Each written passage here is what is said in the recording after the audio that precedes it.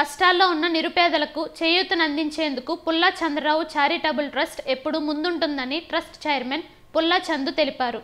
Kakinada rural మండలం సర్పవరం గ్రామంలో గల పుల్లా చంద్రరావు చారిటబుల్ ట్రస్ట్ కార్యాలయంలో అనారోగ్యంతో బాధపడుతున్న నర్ల దీపేష్కు ట్రస్ట్ తరపున నెల నెల అందిస్తున్న వైద్య ఖర్చుల్లో భాగంగా ఐదు వేల రూపాయల ఆర్థిక సాయం పంపిణీ కార్యక్రమం జరిగింది. కార్యక్రమంలో భాగంగా ట్రస్ట్ చైర్మన్ పుల్లా చందు దీపేష్ కుటుంబానికి ఐదు వేల రూపాయల ఆర్థిక సాయంను అందజేశారు. అందరికీ నమస్కారం అండి.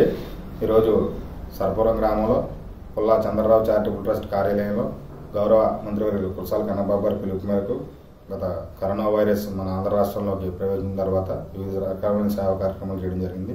అందులో భాగంగా నర్ల దీపేష్కి ప్రతి నెల ఆయన వైద్య నిమిత్తం మెడికల్ నిమిత్తం ఐదు వేల రూపాయలు ఇస్తామని చెప్పారు చెప్పాం. ఈరోజు ఈ నెల ఐదు వేల రూపాయలు కూడా పెద్దలు యోగ సత్యబాబు గారి చేతుల మీదుగా అలాగే మాజీ ఎంపీ సీఎం నాగేశ్వరరావు చేతుల మీదుగా అందించడం జరిగింది.